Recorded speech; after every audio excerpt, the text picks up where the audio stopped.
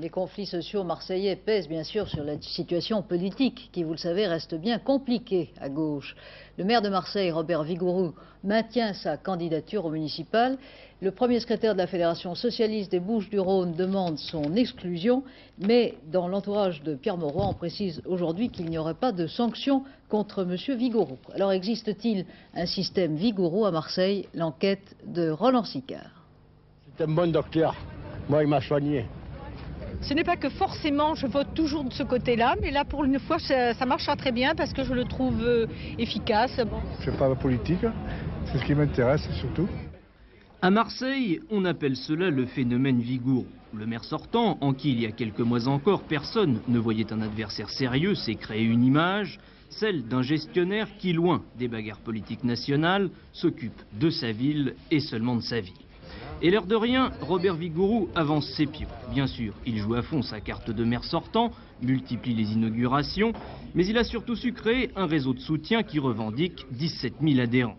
Les comités Vigourou se préparent à entrer en campagne. Leur patron, un publicitaire ami de longue date du maire sortant, a très vite compris la stratégie appliquée dans une ville où, plus qu'ailleurs, le pastis politique a fini par lasser.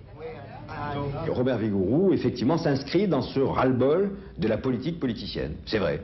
Dans cette démarche euh, des citoyens qui consiste à dire on en a marre, on veut travailler ensemble avec un homme pondéré, propre, euh, intègre, euh, et qui présente, selon nous, des qualités de paix civique pendant au moins six ans et de reconstruction de l'image de marque de la ville de Marseille. Cultivant son image antipoliticienne, Robert Vigourou ne néglige pas pour autant la classe politique traditionnelle.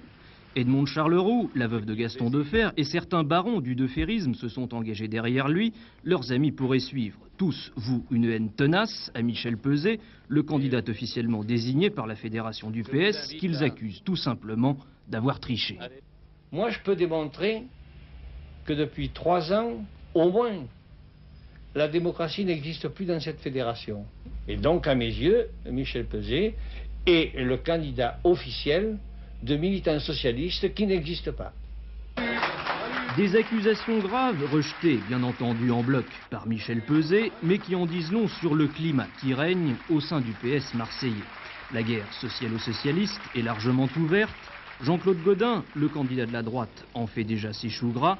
La bataille de la mairie de Marseille ne fait Et un adversaire de plus pour Bernard Tapie dans la sixième circonscription de Marseille. Il s'agit de l'ex-RPR Yacinthe Santoni.